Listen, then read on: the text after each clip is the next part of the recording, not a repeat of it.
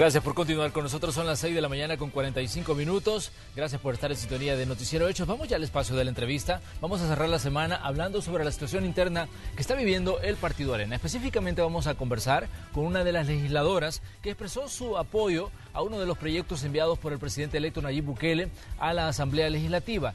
¿A qué nos referimos? A la reorientación de fondos de, la construcción del edificio legislativo para proyectos educativos. Pero pongamos más elementos en contexto y luego saludamos a nuestra invitada de esta mañana.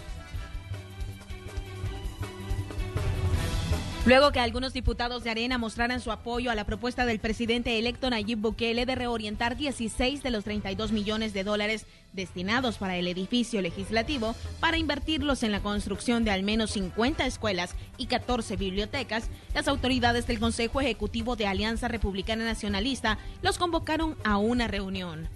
Milena Mayorga, Arturo Magaña y Felisa Cristales se reunieron de manera individual con el presidente del partido, Mauricio Interiano.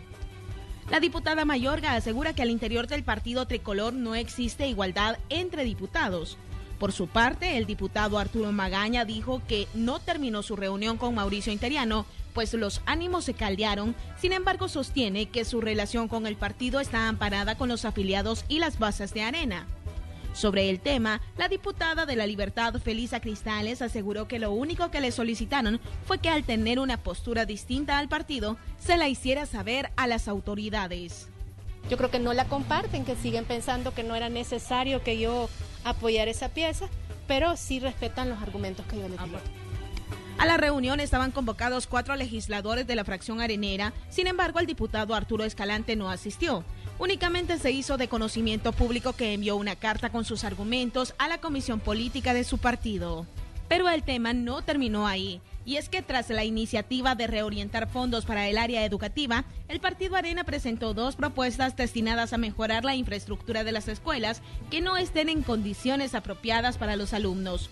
Piden que el Ejecutivo los apoye destinando al menos 50 millones de dólares del presupuesto general de la Nación 2019. Pero para ampliar más sobre esta situación, damos paso a la entrevista de Hechos AM. Comenzamos. Así es, esta mañana de viernes le damos los buenos días a Felisa Cristales, diputada por el Partido Arena, diputada por el Departamento de la Libertad. Señorita Cristales, bienvenida a Hechos AM. Muchísimas gracias. Buenos días y muchas gracias por sintonizarnos a todos los que nos ven desde su casita. Esperamos que se queden con nosotros toda la entrevista. Felisa, ¿qué es lo que está ocurriendo en el Partido Arena desde su punto de vista a partir de esta decisión expresada por cuatro legisladores de respaldar el proyecto enviado a la Asamblea Legislativa por parte del presidente electo Nayib Bukele? Bueno, creo que las posturas han sido muy, muy diferentes entre nosotros. El día que nos reunimos, pues yo expresé sinceramente cuáles han sido las razones y bueno, me comprendieron e incluso fue bastante amena la reunión al final, ya cuando, bueno, estas son mis razones, eh, creo que, el préstamo no estuvo aprobado en óptimas condiciones, no fue aprobado bajo presidencia de ningún diputado de Arena y, no veo por qué tengamos que, pegarnos o que tomar una posición en favor de la construcción del edificio. Ya comencé iba a dar mis razones y bueno, me entendieron.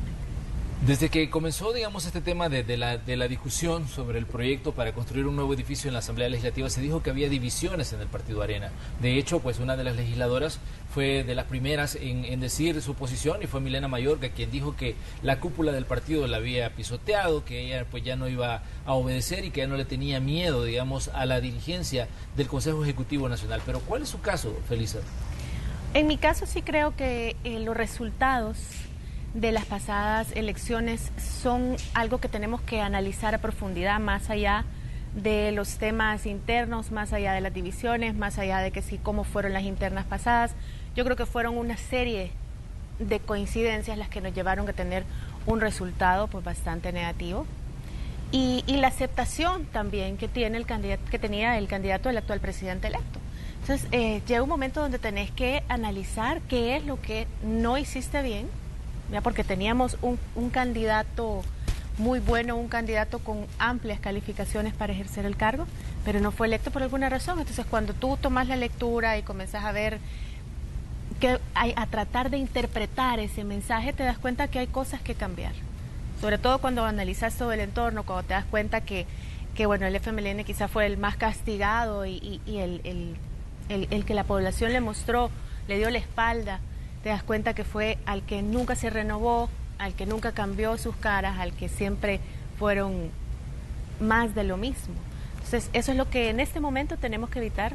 Eso es lo que yo he estado tratando de hacerle saber a la dirigencia, que yo creo que en buena manera se ha escuchado el mensaje, con enojos tal vez, tal vez eh, no ha sido de una manera tan sutil, pero es que la, una forma de, de ocasionar que se dé el cambio no puede ser sutil, tiene que ser con un mensaje directo, con un mensaje que cale. Yo creo que la dirigencia lo ha logrado y que a lo largo del tiempo pues van a comprender que nada más estamos queriendo generar cambios, queriendo que Arena se convierta en nuevamente en una opción para los salvadoreños. Pero esto, digamos, de, lo que ocurrió con, digamos, el respaldo al proyecto enviado por el presidente electo, ¿fue algo que ustedes, digamos, conversaron entre ustedes como, como cuatro diputados, en el caso de Simón Magaña, Gustavo Escalante, Milena Mayorga y usted? En mi caso no, bueno, se dieron cuenta por mi Twitter. Cuando yo iba a apoyar, yo decidí, yo primero lo puse en mi Twitter, sí, a mí sí me parece reorientar esos 16 millones a obras sociales y a lo cuando, cuando ellos se fueron sumando, pero fue anterior, pues no es que yo haya hablado, que les haya preguntado qué pensaban o, o por qué, no. No, a mí sí me parecía que 32 millones es mucho y que la gente ya tenía demasiado descontento con la clase política en general como para venir a hacer un proyecto que no va de acuerdo a nuestra realidad. Pero más allá de la, de la discusión del proyecto del edificio, eh, ha habido interpretaciones respecto, digamos, a la, actitud asumida por ustedes. Eh, uno de los dirigentes del actual Consejo Ejecutivo decía que esto lo que indica es que se busca desgranar a Arena y que él identificaba, por ejemplo, síntomas que se dieron cuando, por ejemplo, un grupo de legisladores se separó y formó Gana. No sé los síntomas que se dieron porque yo todavía no estaba en política en ese momento, pero lo que sí te puedo decir es que ciertamente hay una percepción de que cualquier eh, cualquier desacuerdo o cualquier o cualquier de cualquier manera tú expreses que no estás en la misma opinión del partido se percibe como que si alguien se va a ir del partido o como que si va a suceder lo mismo que sucedió de verdad que te digo que no sé, en aquel momento internamente pudieron haber pasado muchas cosas que hacia afuera no se sabía, en ese momento estaba afuera. Pero yo no sé si es que tenemos como ese trauma, ¿verdad? Que de lo que pasó hace años, o si es ya un discurso de si no opinas igual que yo, significa que te vas a ir. Pero eso no tiene nada que ver. Yo sencillamente expreso mi opinión y nunca me voy a ir del partido. Arena es mi partido. Hay, hay una cosa que posiblemente no toda la gente sepa y es que para mí, em, yo he crecido en arena, mi familia siempre ha sido arenera, si bien no siempre he sido política, no siempre he estado en una función pública, pero no soy nueva. Toda la gente me percibe como alguien del partido. Entonces, no hay para mí una manera en la que yo pueda irme para otro partido. Pero sí sé que al no estar de acuerdo en todo, sobre todo con algunos de los dirigentes, se comienza a levantar el discurso de ah, se va a ir, se va a ir. Yo no sé si es tanto el miedo o si es más una estrategia de mantenerlo a uno siempre como calladito y, diciendo que sí a todo, aunque las cosas no estén bien. Ha habido diferentes, diferentes pronunciamientos sobre este tema. El alcalde Ernesto Mason publicaba pues, un comunicado a través de sus redes sociales donde hablaba de la situación de arena y él decía de que mientras haya areneros puros, el partido se va a mantener a flote. Y también decía de que las especies que están abandonando el barco van a terminar ahogadas. ¿Cómo interpretan ustedes esta situación y estos calificativos que se utilizan en determinado momento para hablar de la, de la situación que ustedes han planteado? Mire, cada quien puede decir su opinión. Sin embargo, como le digo, el tiempo da la razón. Generar cambios no es fácil y mucha gente ya está acostumbrado y está cómodo con un partido que ahora ya no representa a la mayoría de los salvadoreños, que se tienen que hacer cambios para que vuelva a representar a los salvadoreños. Pero si yo estoy cómodo y, o cómoda y quiero que seguir en el cargo o tomar una dirigencia y el, el sistema a mí me funciona así, pues esta persona va a salvaguardar el partido de que no se den esos cambios. Sin embargo, por el bien del Salvador, Arena tiene que ser un partido que, como ya te dije, se actualice y siga siendo una, una opción permanente en el tiempo, una opción política por la que la gente quiera votar, porque hay un sistema democrático que se basa en la representación. Entonces, para El Salvador lo mejor es que Arena esté actualizado, lo mejor es que Arena represente a un grupo de salvadoreños que hoy por hoy si, si nosotros pasamos los resultados de las pasadas elecciones del 3 de febrero a el siguiente, la siguiente elección de diputados y alcaldes, EGAN hubiera tenido 46 diputados, en números fríos, sin hablar de, de, residuos, pero en números fríos, habría sido más, más grande que la mayoría simple. Entonces, para eso nos tenemos que preparar, para volver a hacer esa opción que sí representa a los salvadores. Vamos a ir a una pequeña pausa comercial y regresamos con más de esta conversación que sostenemos esta mañana con la diputada por el Partido Arena, Guadalupe, Feliz a Guadalupe Cristales. Regresamos así.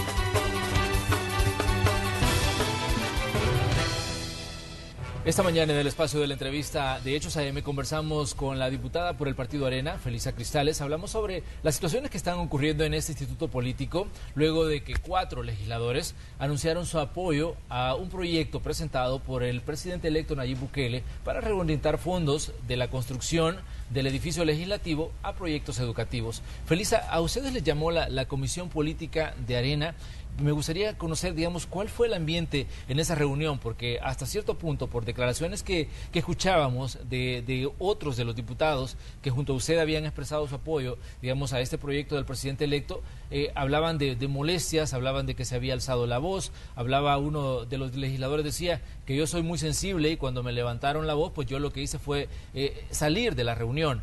Y otros decían, bueno, se nos quiere, digamos, imponer una, una visión del partido. En el caso de Gustavo Escalante, él no llegó porque dijo que desconocía al actual Consejo Ejecutivo Nacional. Eh, digamos, ¿cuáles fueron las preguntas y cuál fue el, ambiente en esa reunión donde ustedes pues le plantaban cara al, al partido ante la decisión que habían tomado?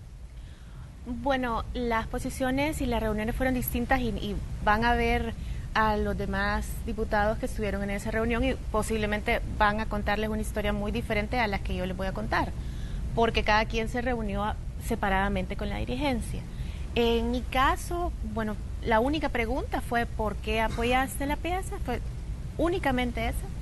Y yo les contesté con la verdad. Bueno, apoyé la pieza porque me parece que hay detalles en ese crédito que no son ni siquiera transparentes, que en su momento ni siquiera los miembros de junta directiva de nuestro partido lo apoyaron y no veo por qué vamos a tomar una postura en defensa de la construcción de algo que eh, la ciudadanía no quiere. Em, la posición fue, bueno, muy comprensiva. Todavía terminamos hablando de, temas de renovación, de cómo ver el ámbito político actual, de, de cómo ya no estar enfrentados, de buscar una solución que no sea de, enfrentarse, ni de estar insultos, ni de estar con insultos con, el otro partido que hoy es mayoritario, ni que ni estar en crítica, sino que tratar de ser una oposición constructiva. Y si usted lo ve en el discurso de ayer, en las acciones tomadas por el presidente del COENA, sí se está tomando en cuenta eh, el tratar de ser una oposición constructiva, una oposición que apoya lo bueno, que a la hora que haya algo negativo que señalar, se va a señalar. Felisa, ¿en algún momento usted ha tenido contacto con la gente de Nuevas Ideas, con la gente de Ghana? En ningún momento, en ninguno. Nunca he recibido una llamada, nunca que me hayan visitado, que en ninguno. Yo he expresado mis opiniones muy personales. Más allá de, digamos, de, del apoyo de, ustedes a la pieza enviada por el presidente electo, se hablaba también de, digamos, de que eh, había dinero ya de por medio y que algunos de ustedes podrían haber sido hasta compradas sus voluntades por parte, digamos, de terceros. ¿Qué responden ustedes a esas críticas como que, digamos, surgieron a partir del momento que ustedes dijeron vamos a respaldar la, propuesta que envía el, envía el presidente electo sobre reorientar fondos para proyectos educativos? Yo te agradezco mucho la pregunta porque creo que hay mitos que tenemos que ir dejando si queremos construir un país. Eh, basado en armonía. Es cierto que sucedió y ya lo vemos que el fiscal lo señalaba, que sí hubo, hubieron diputados, que obviamente no voy a mencionar nombres, que sí les cambió la vida durante una transición de un partido al otro, que sí ustedes vieron un aumento en su patrimonio, que sí se vio que, que definitivamente de repente tenía un estilo de vida que antes no podía darse. Pero tenemos que abandonar eso, tenemos que entender que en aquel momento había tanta polarización, había tanto yo me opongo por oponerme a lo que dice el otro, que eso le daba un valor económico. al, al no oponerse. Lo que tenemos que lograr es un sistema político donde sí hay pesos y contrapesos, como los tiene que haber en un sistema democrático, pero que se ejerce una oposición constructiva, algo que tú puedes apoyar lo bueno y que no por eso te van a difamar, porque, ojo, acusar de algo así es difamación. Y, yo en este momento no, no, no he ni siquiera visto las declaraciones y no hay alguien que lo haya señalado puntualmente. Pero en el momento que lo hicieran, yo lo que diría sería investiguen, pero en el entendido de que como sé que soy inocente, que no tengo nada que temer, que sencillamente estoy diciendo mi opinión, al ser inocente es una difamación. Entonces tenemos que tener mucho cuidado porque ya la cultura va hacia ahí, ya la, tendencia va hacia ahí, hacia que si tú no estás completamente con lo que yo digo, entonces tú te quieres ir del partido. no te puedo decir, en, en el caso de todos, te estoy hablando por mí. Yo sí tengo mis argumentos, yo sí sé qué es lo que quiero apoyar y qué no por mi criterio. Por ejemplo, en este caso, yo creo que ninguno, tú le preguntabas a cualquier salvadoreño, a ninguno le parecía esa construcción. No tiene nada que ver con dádivas y no tiene nada que ver ni siquiera con ideología ni con partido. Por el contrario, lo que nuestros principios dicen es que tenemos que velar por la educación. Entonces, venir y hacer declaraciones irresponsables, pues ya se sabe que comienza a ser una difamación. Pero, ¿qué piensan ustedes cuando a veces estas acusaciones surgen dentro del mismo partido? Es que siempre es así, porque es una manera de, basados en algo que fue real, que sucedió antes, eh, manipular y chantajear y, si no, y no es toda la gente. Mauricio Interiano ha sido muy respetuoso. Mauricio Interiano, por el contrario, se ha sumado a, en lugar de hacer una oposición nociva, recomponer una propuesta y volver a sacar temas de educación, ya que el tema de educación se puso en la mesa con la pieza del presidente electo. Y él está, está hablando de educación, está hablando de reorientar recursos de la misma manera que lo hizo el presidente electo. Pero diciendo siempre hemos querido esto, porque es cierto, hay propuesta, por ejemplo, del aumento del 6% hasta, llegar al 6% del presupuesto para la educación, es una propuesta que tenemos años de venirla diciendo y que el FMLN toda la vida la ha dejado caer en saco roto. Tú ya ves a Mauricio tomando otra postura, tomando una postura más flexible, muy alejado completamente de las acusaciones que hacen ciertos miembros del COE. Pero se cuestiona de por qué, digamos, el repentino interés de diputados de Arena en temas educativos cuando han tenido la oportunidad de hacer estos planteamientos anteriormente y no lo hicieron. Esa no es una propuesta repentina, esa incluso era una propuesta de campaña. Lo que sucede es que durante el, durante el tiempo de campaña presidencial nos pidieron que no presentáramos ninguna iniciativa, que no pusiéramos ningún interés, que nos mantuviéramos al margen haciendo solo el trabajo legislativo porque todas las iniciativas y todas las cámaras y todas las propuestas debían de ser manejadas por, por el candidato.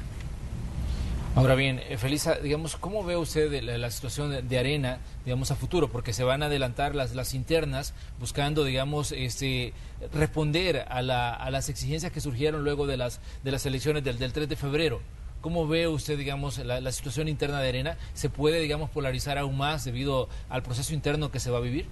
Yo creo que el proceso interno es sano, siempre y cuando eh, seamos respetuosos de la democracia, siempre y cuando querramos un proceso transparente, un proceso veraz, un proceso donde los salvadoreños, donde los, los areneros que están eh, que van a votar se sientan, y no solamente los que van a votar, sino que los que van a participar en las elecciones se sientan con la confianza de que las, de que las elecciones internas van a ser completamente transparentes.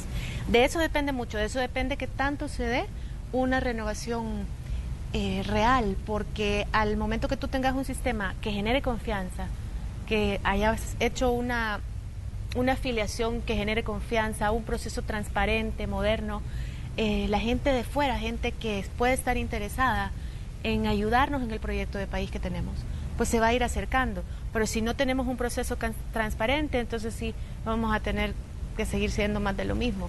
Depende mucho de los cambios que hagamos ahorita y de la confianza que generemos ahorita, cómo va a llegar Arena a las siguientes elecciones. ¿Qué dice usted sobre lo siguiente, de que Arena es un partido, digamos, poco tolerante a la crítica, a la crítica interna, y que esto se puede ver reflejado en casos como Johnny Groisol, que en determinado momento, digamos, eh, disintió desde el partido y, al final se salió y ahora está formando su propio eh, instituto político. El caso de Juan Valiente, quien no participó en, las internas para elegir a diputados porque dijo de que, pues al final, pues se le querían poner condiciones que él no aceptaba. Y si esto a la, a la larga, pues algunos analistas sobre el temas políticos dicen, esto refleja que Arena no acepta, digamos, que alguien este, quiera ir en contra de lo que dice en determinado momento la dirigencia. Es, correcto.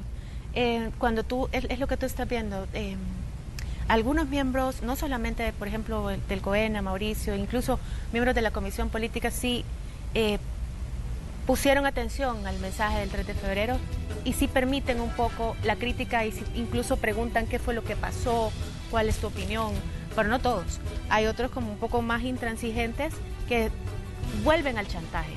Y, el chantaje siempre es ese. Si tú estás haciendo críticas, si tú estás hablando, es porque tú te quieres ir y porque algo oscuro tenés que tener detrás.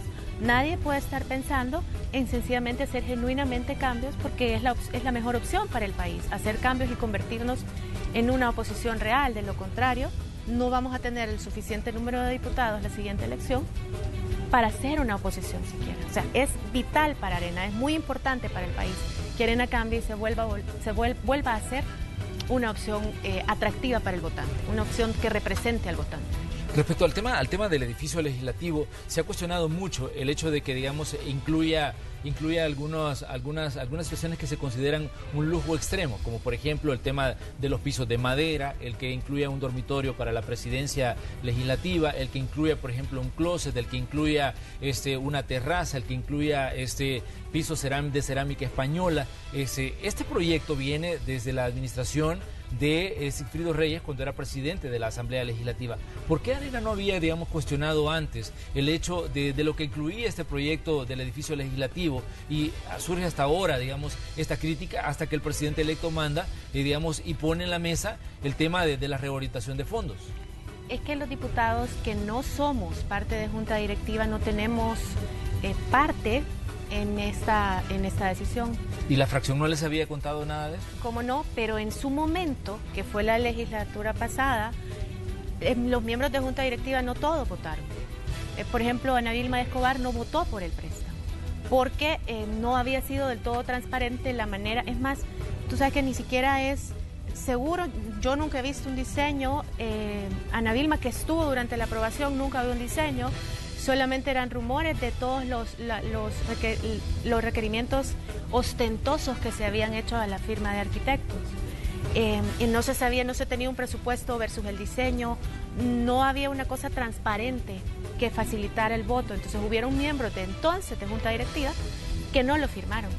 Claro que ahora tú venís y revisás, tenés una, un, un cheque de 30 millones de dólares pero no sabes en qué se iban a ocupar, no, no existe un estudio, si lo, si lo existe, se dice que hay varios, que había uno de 30, que había uno de, que había uno de, de 600, que había uno de 15 mil, en fin, y diseños de diferente valor, de 12 millones, de 32 millones, de 4 millones, el más antiguo.